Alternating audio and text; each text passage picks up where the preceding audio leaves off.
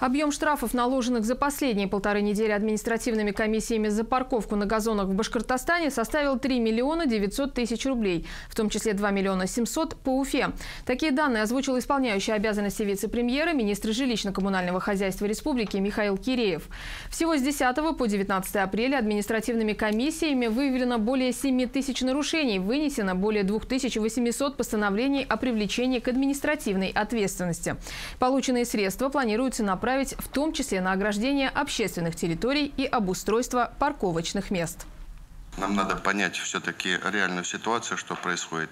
Я уверен, это касается нескольких только городов, где действительно нехватка большая. И нам надо подумать, что мы для этого делаем. Парковки во дворах, парковки вдоль уличной сети и, соответственно, платные парковки. Об этом всем нужно подумать.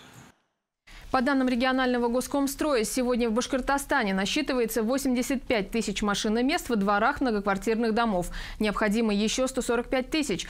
Вдоль уличной дорожной сети имеются парковочные карманы на 27 тысяч машиномест. Дополнительно требуется обустроить 23 тысячи машиномест.